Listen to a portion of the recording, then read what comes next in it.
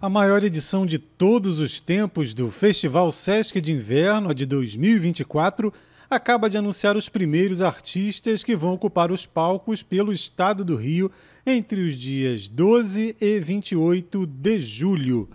Alceu Valença, Adriana Calcanhoto, Biquíni, Detonautas, Gabriel Sater, Glória Groove, Ira, Falcão e Paralamas do Sucesso estão entre os nomes previstos na programação que é considerada o maior evento cultural multilinguagem do país e que vai oferecer mais de 550 atrações este ano.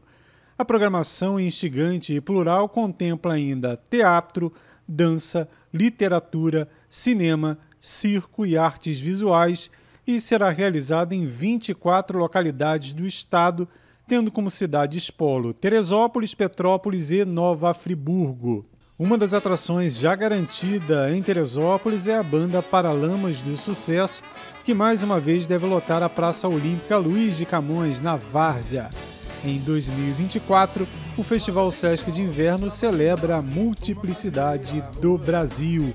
Veja mais sobre esse grande evento no nosso site, que é o netdiario.com.br. Nada demais, nada através, uma leve meia, uh, uma frase incendeia.